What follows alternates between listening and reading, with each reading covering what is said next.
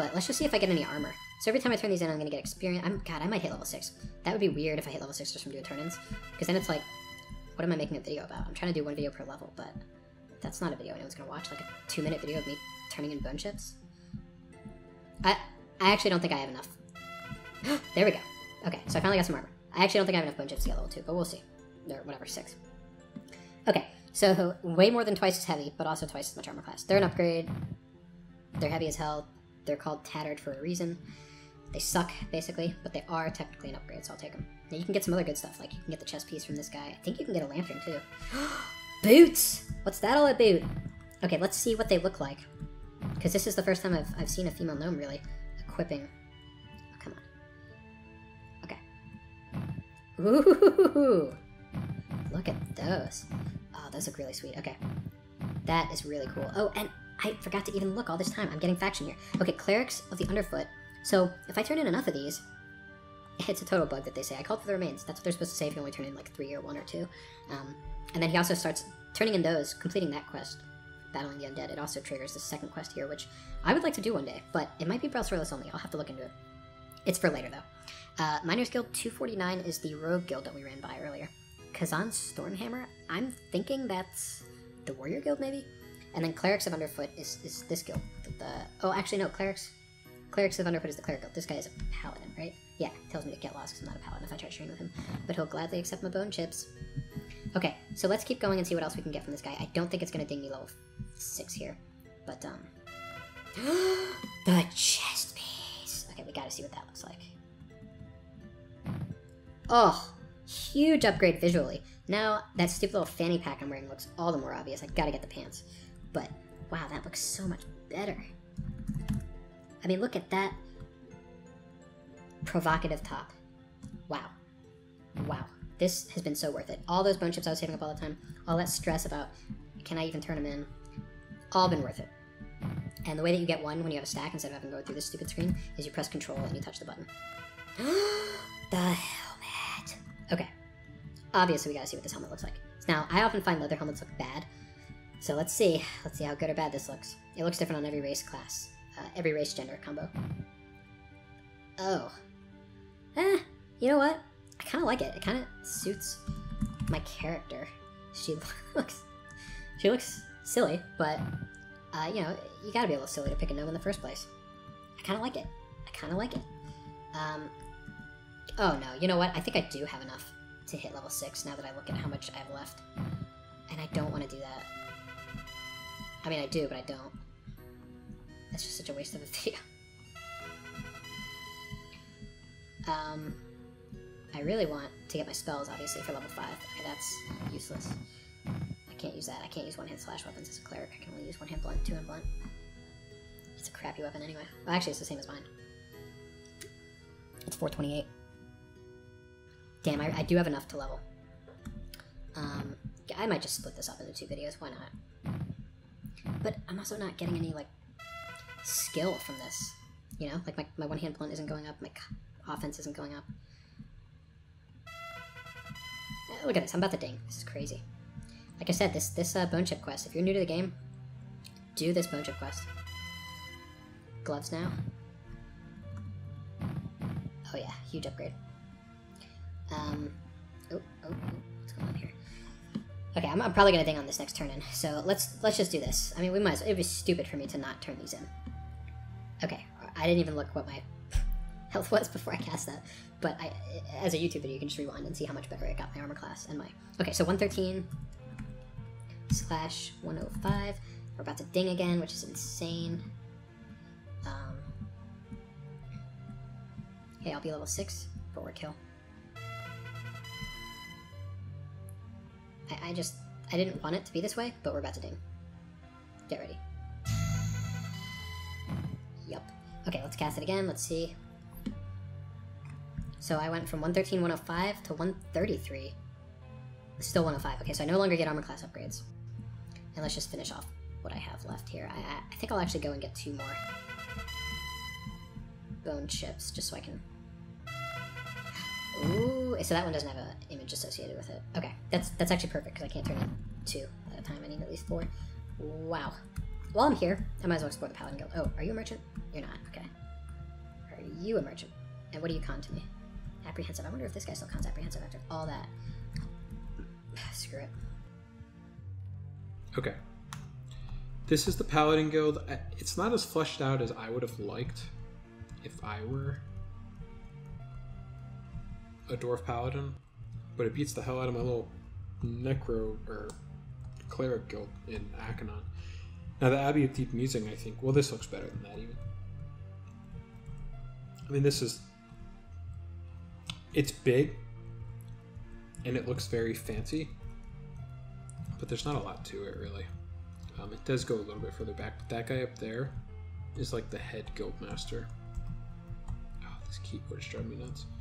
Datur Night Seer. He's the big way around here. Oop. Yeah, I didn't want to give him that. I want to sell that to a merchant that's not apprehensive.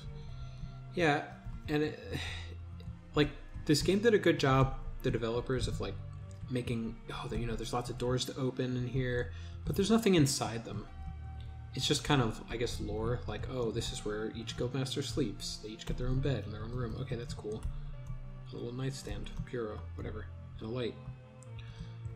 Oh my so is wearing off. Bummer.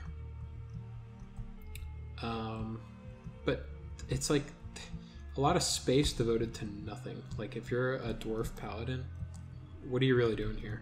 Other than that bone chip quest maybe one or two other quests that aren't really that great. Let's ask this guy, see if he's done any quests. I think he's AFK, or he's just lost in thought. I I really had hoped that through all those turn-ins I would have gotten a lantern, because I think a lantern is one of the things you can get. I cannot believe level 5 was such a short thing. I mean, what, what kind of video is that going to be? That's going to be a real quick one. But hey, I said, I said that was what I was going to do. Maybe these. Oh, she's up to amiably now, or was she amiably already? Let's see what Galia is, because because that's who I was really gaining faction with. I think. Okay, so this will be fine to sell to. So since I I got all those upgrades, I don't need any of this stuff anymore. Um. Gosh, should I do my level five spells here, or should I go back to Ak'Anon? One thing that I can do right now is Scribe Gate. I think I'll go back to Ak'Anon.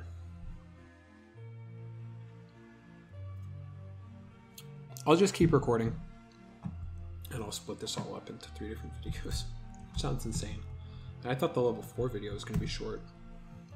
Okay, so instead of running all the way back, now I can do something really cool. I can cast a spell called Gate. What does Gate do? Uh, that's a cool looking cleric guild. I wonder if is that cooler than the Abbey of Deep Musing? I, I definitely can't throw my own crappy little guild into the conversation. Let's see what it looks like on the inside. I mean, it's it's not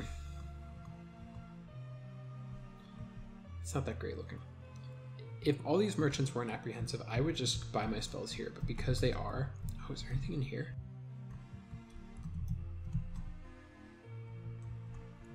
Ooh, okay.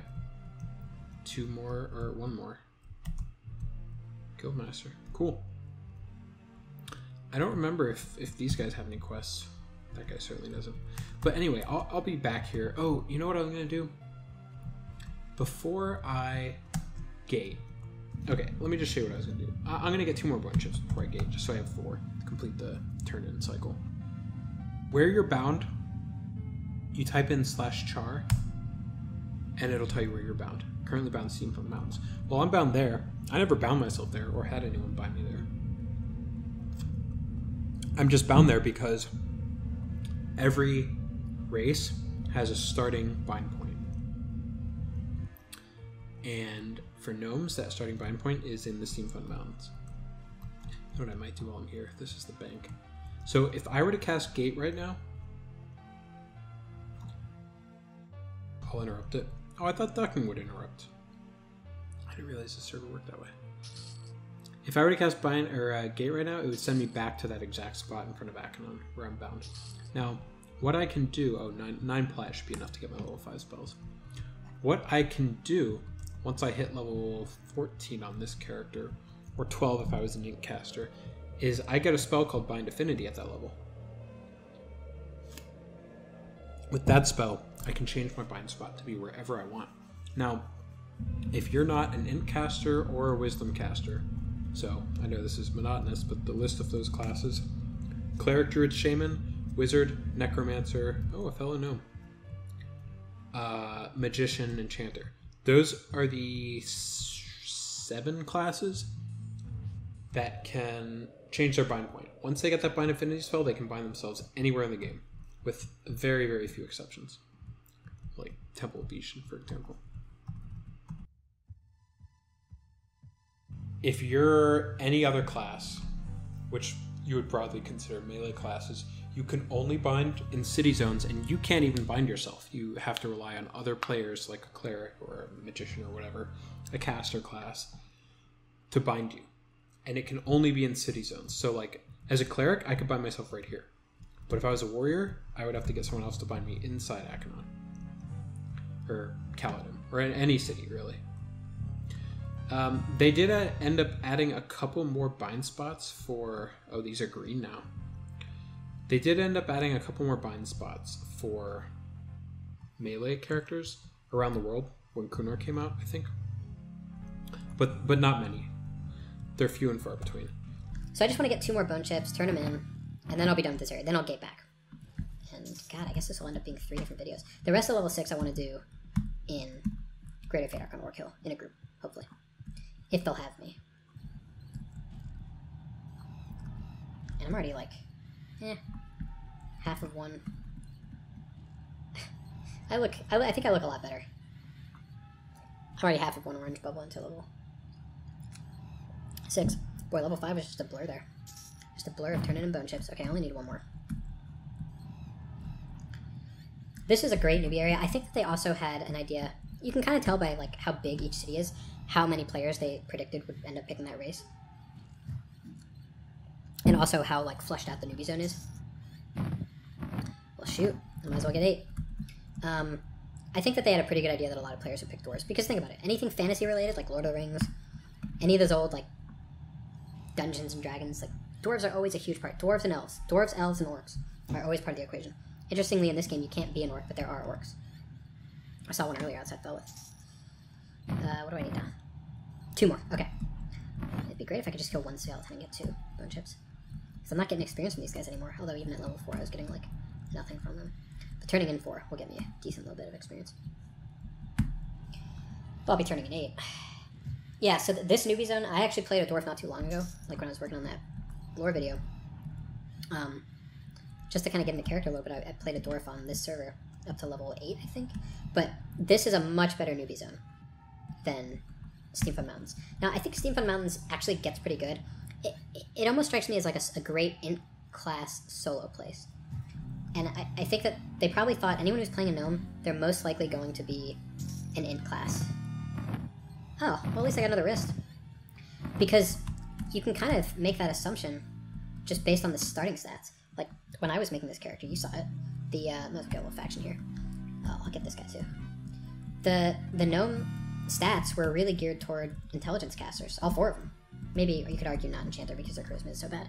But the wisdom stats were bad for clerics, the melee stats aren't great for warriors. I guess rogues are rogues are rogues. It really doesn't matter what race you pick, in my opinion, for a rogue. You're gonna max out your strength. Your backstab damage is gonna be insane. But yeah, I think they figured, well, if anyone's gonna be a gnome, they're probably gonna be an int caster. And I think that Steamfont Mountains kind of reflects that. Like that magician I was talking about earlier, who was just destroying stuff with his pet. I mean, that's the kind of thing I couldn't do as a cleric. Uh, damn sure a level 4 gnome warrior isn't gonna do that. Same with a rogue. Come on, I need one bone chip. Just give me a bone chip. Um, so I, I think that they they did a good job of crafting the newbie zones based on probably what class they figured most people would be. And that's the impression that I get from uh, Steamfont Mountains is they thought there would be a lot of int casters. Because if you go further out from those windmills I was at earlier, there's an area outside of these tunnels that I think most people call like Minotaur tunnels or something like that, that is so geared toward an int caster with a pet. Like if you're a mage or a, a necro, like you're gonna be there instead of Crushbone most likely because it's such easy experience. Your pet just destroys everything, It's great. But if you're if you're a cleric or warrior, you're not soloing there. Oh, I've got competition here.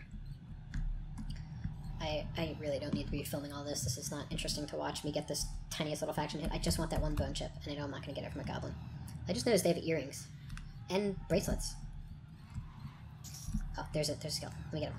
Let me get him before he gets him. Yeah. Oh, here's another one. Perfect. Or is he stealing this one from me? Haha, I got two. And I'm joking when I said stealing. If, if he had nuked this one, it wouldn't have been stealing.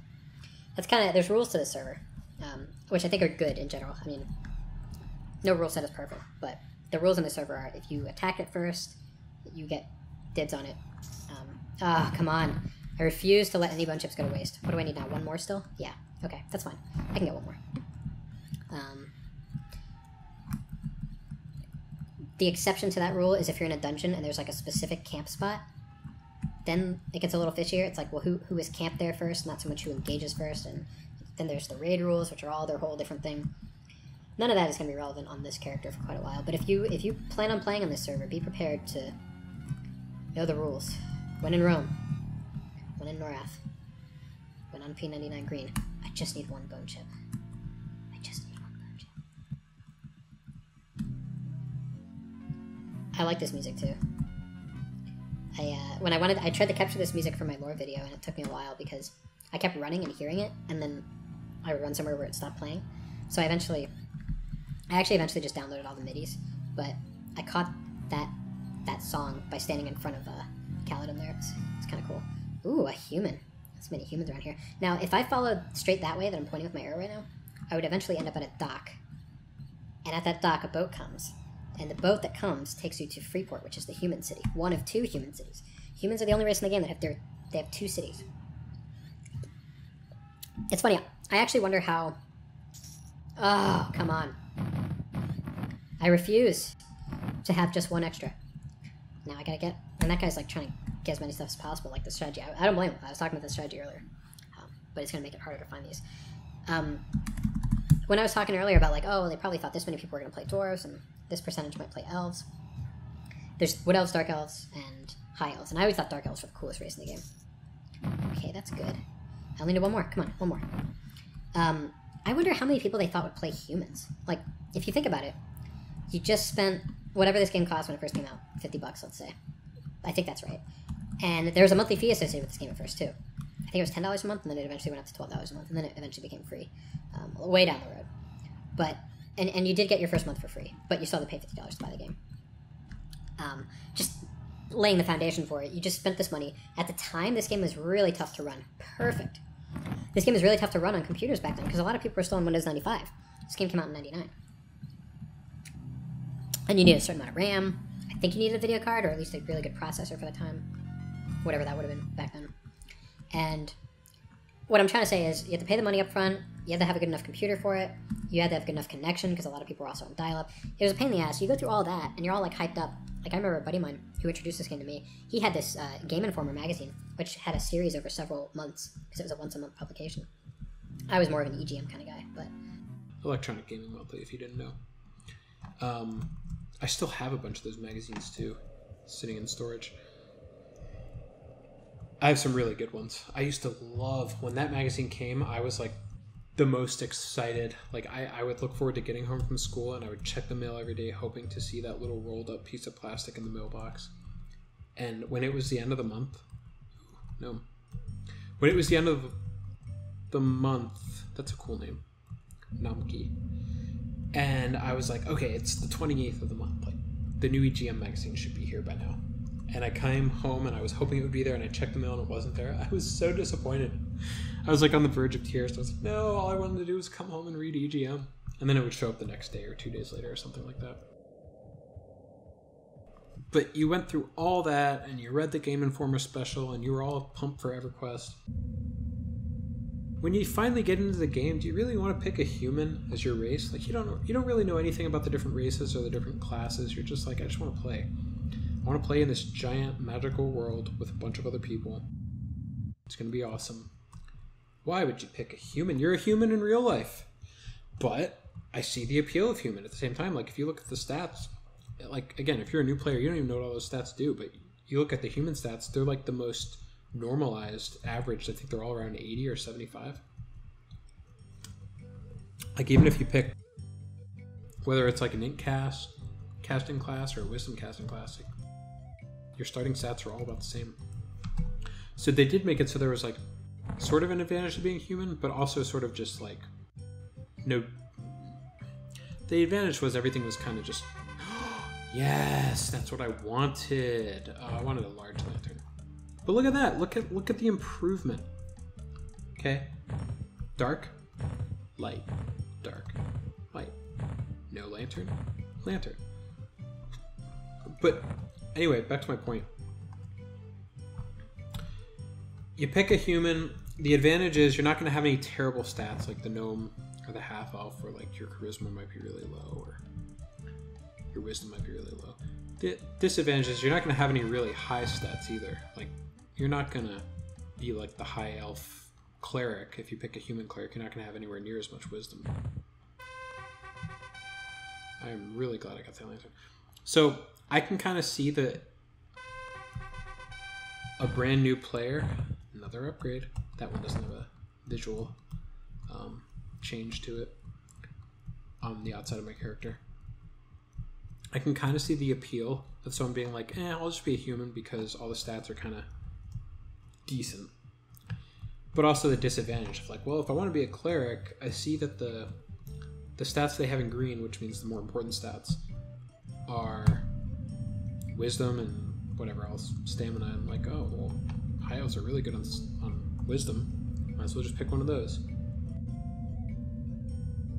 But yeah, like when I first got this game, um, Kunark was already out.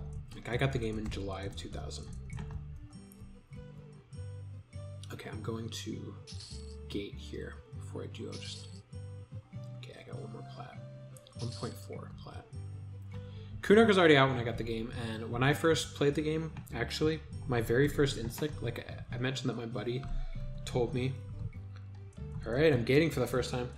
My buddy told me that I should be a barbarian shaman because of the faction that barbarians have, which is generally neutral around the world, and also the quote unquote fun of a shaman. But I was like, eh, not really feeling it.